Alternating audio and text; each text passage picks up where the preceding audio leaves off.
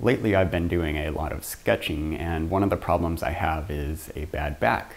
So when I hunch over for hours at a time, I end up regretting it.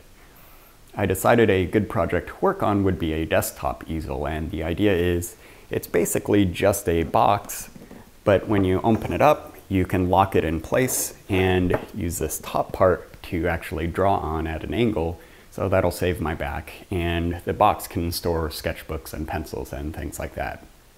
I decided to make it out of MDF, which I'm not a big fan of, but it will stay flat forever, and a wood called Granadillo. Uh, this ended up polishing up really, really nicely, so I'm a big fan of that wood.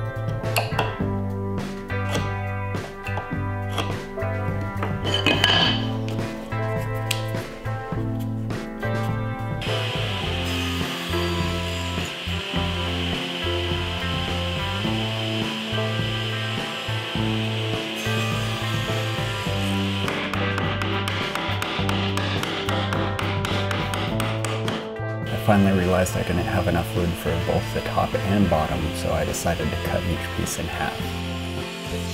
Which also meant cutting the finger joints a little bit shorter.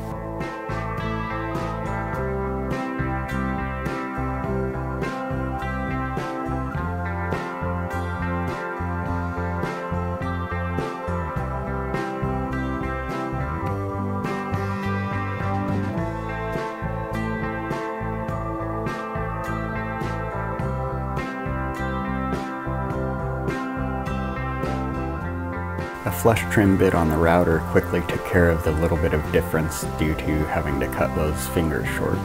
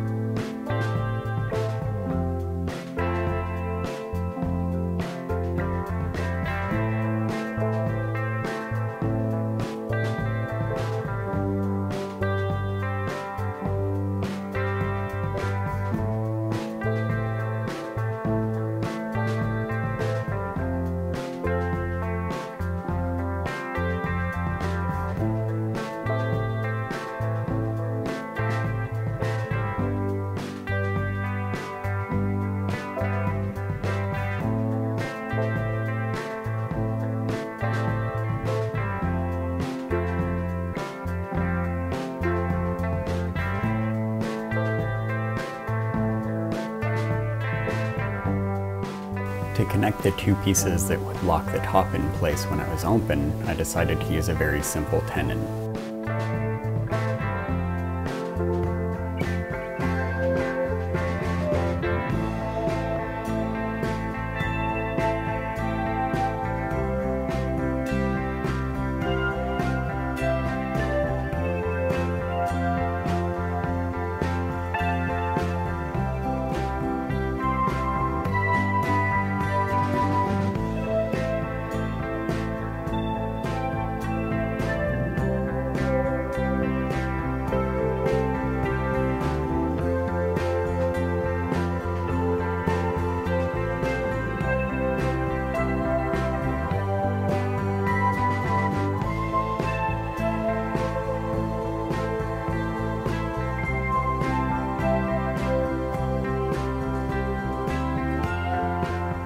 Managed to split the wood while chiseling, but I went ahead and measured things and made sure it was good because I could just use CA glue to join it back together.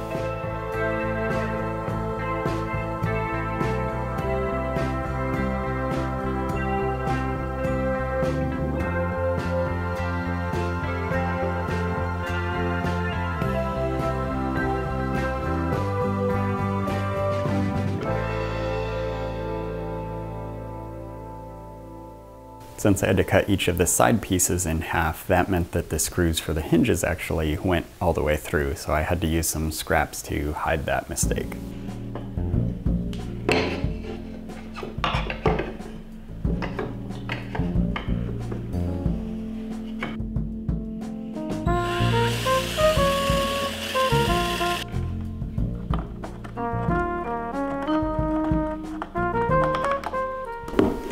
First started the project, I thought I could drill partway into the walls to just stick a dowel through and use that as a pivot point. But since I had to cut each of the walls in half, that meant that I didn't really have enough room to do that. So I looked through the scraps that I had because I was really down to the last bits and I glued them together.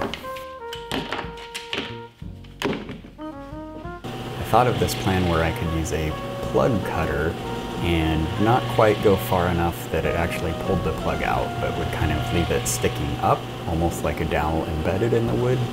So I tried that with some scrap and it worked perfectly. So I used this granadillo that I still had and I was trying to be really careful, but uh, several of them broke off and the plugs came up. Not surprising since that's what the tool's supposed to do, but eventually being careful enough and slow, I was able to actually get to this stuff.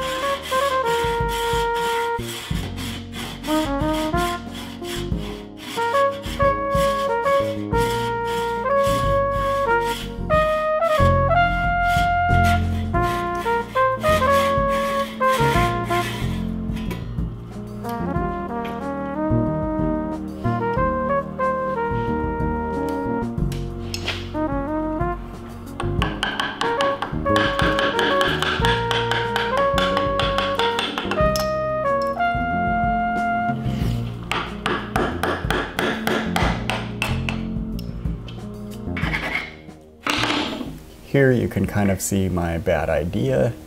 Uh, this would have been the pivot point, but as I tried to tighten it in, it broke and I started to realize this was a lot more fragile than I thought. So I popped it off and just decided to go with dowels.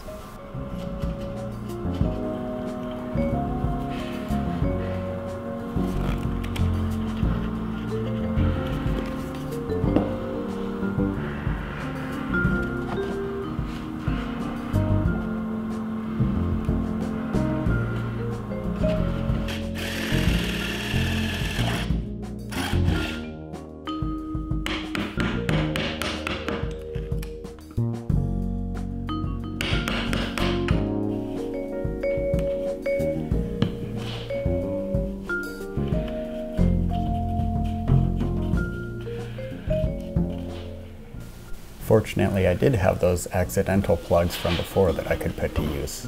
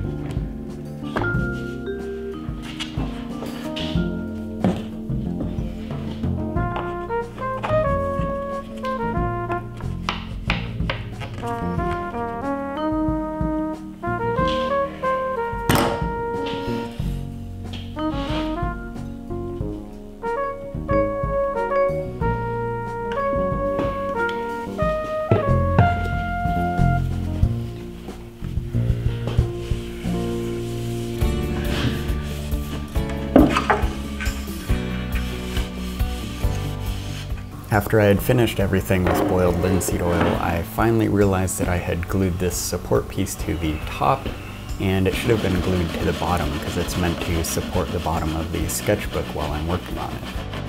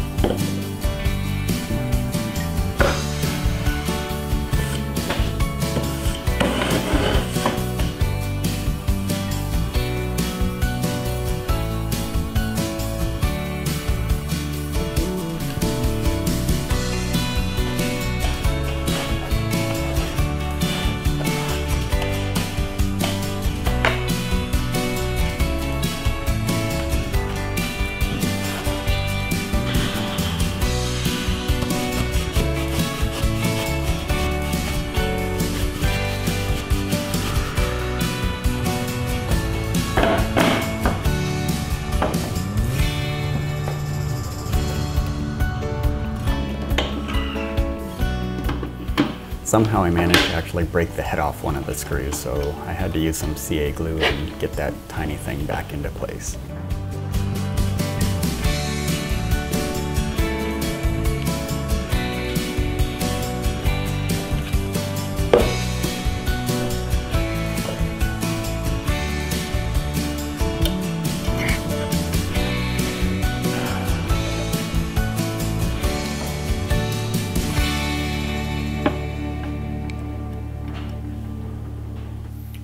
Thanks for sticking with me through the end of this. I know I was making a lot of mistakes. Uh, they largely came down to the two problems I always have.